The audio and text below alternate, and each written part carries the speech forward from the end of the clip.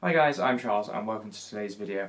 I am super excited for this video as I finally got my hands on the Leviathan box set and the first thing I knew that I wanted to do when I got that box set was something with those Terminators. They are seriously, seriously beautiful models.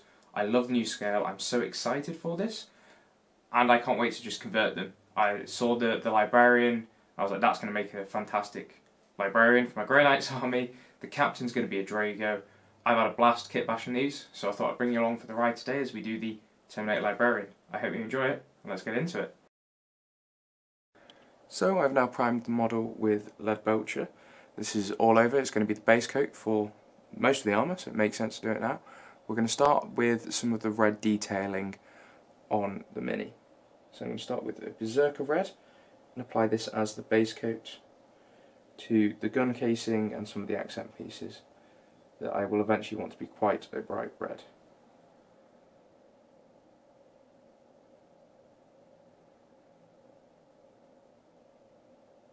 Whilst the red dries, we're going to move on to pretty much anywhere else on the model where I don't want that silver to show through and I want it to be quite a light colour. So this will be the pages, the parchments, anything that's going to be bone coloured in the end. I'm going to start with Vallejo Wolf Grey here because it has really good coverage and I'll do this in one or two very very thin down coats 50-50 with water.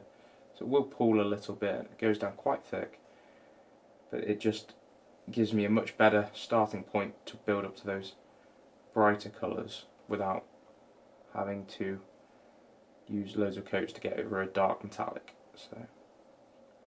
For the Crux Terminatus I want a very simple stone effect I think on this. It'll be a bit a contrast away from the very metallic armour on the rest of the model. So I'm going to start with Dungeon Stone Grey. And slowly this will eventually work up into quite a simple stone effect highlight.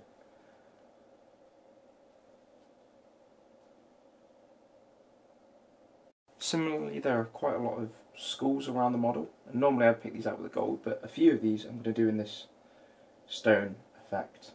Uh, particularly the ones on the knee pad and on the shoulders as well. Now that the white has dried, I can come in and start adding more colours to it. For anything that's going to be parchment eventually, I am going to do a coat of Vallejo Bone White. This is a very yellowy khaki colour. And for anything bone, I will not be using Bone White. I will instead be using the Two Thin Coats range and I'll be starting with Griffin Claw.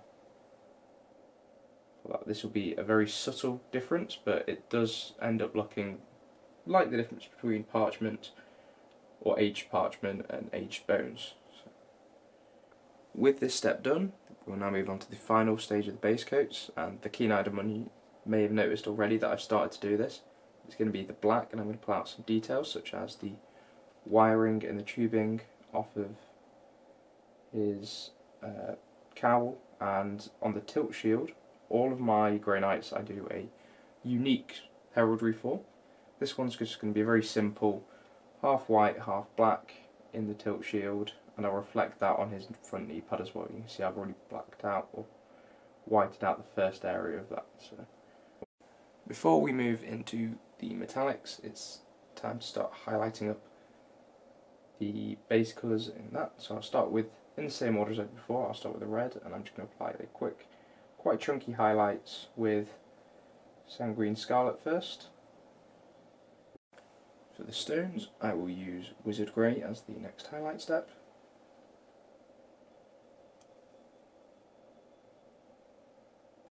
I don't want to go too extreme with the contrast and the highlights here, because I want these to not look like a attempt at non-metallic metal, especially when the majority of the metal is using true metallics. So I'm going to be very, very intentional very chunky and not blend too much here, and certainly not step through those high levels of contrast that you expect to see in true metallic metals. The parchments I'm going to leave as is because I will just come in with a wash for those, but for the skull we're highlighting the Griffin Claw with Skeleton Legion, which is a very yellow paint. So we step now into the final set of our initial highlights, and I'm going to start with Demon Red, for uh, an edge highlight here, using the side of the brush on the corners to really just gently catch them and apply a nice subtle edge highlight. For the stone pieces we will now use Carcharodon Grey.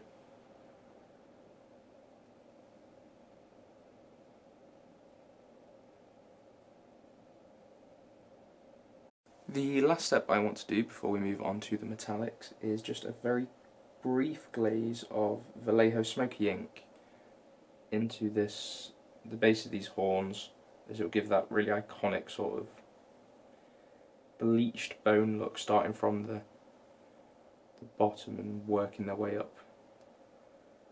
Now, you might be asking yourself, what metallics need doing when I've spray painted it mostly silver? Well, I want to add some golds in here of several different hues. So I'm going to start with quite a green gold of Necro Gold. I'm just going to apply that to all of the the spiky rings that go around the various things. So on his staff, on his shoulder, and the one above here.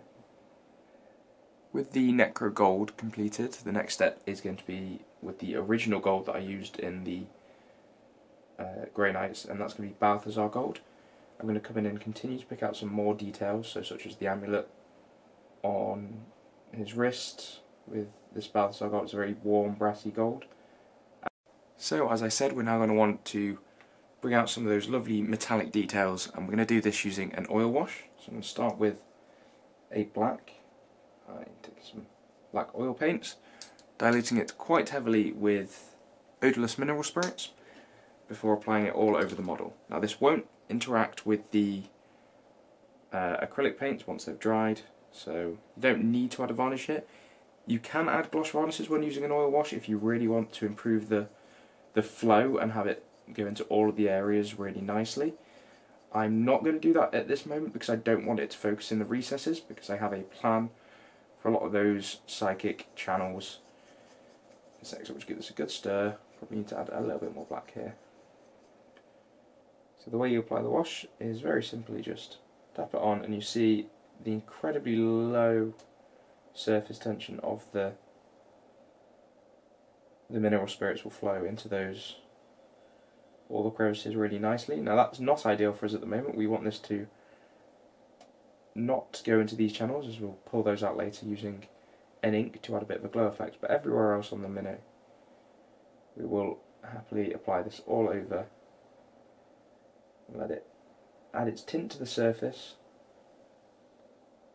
but it will pull in the recesses really nicely and give us a lot of definition around there, which is what we're after at this step. So whilst our oil wash dries, we're just going to add a very quick normal acrylic wash, like I said, to all of the parchment areas. And where it's got that bone white coating, we're going to add this over the top of it quite heavily. It will pull in some interesting ways, which will look a bit like water damage, a bit of wear and tear.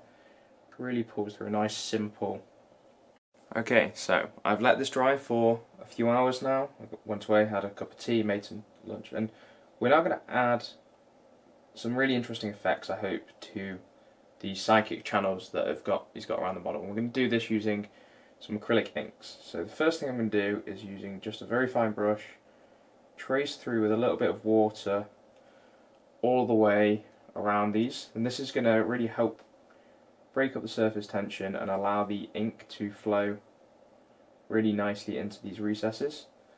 And I really just want it to be in the recesses because that will give us the um, this idea of a glow. So quickly apply water to all of these. Okay, and now the fiddly bit. get a little bit of just straight ink. So ink's really strong pigment and they flow really, really smoothly very carefully just drop this in here and you can see how immediately that water is whipping it away off the brush and into the centre. So we're just going to go around and very carefully add this in. And um, it's okay if we overstep slightly or if it goes onto the flat because I can just rub my finger along the top and it will pull it all away with capillary action really nice. I'm gonna really almost pin washing, but with a with an ink, very bright ink instead of a uh, a wash.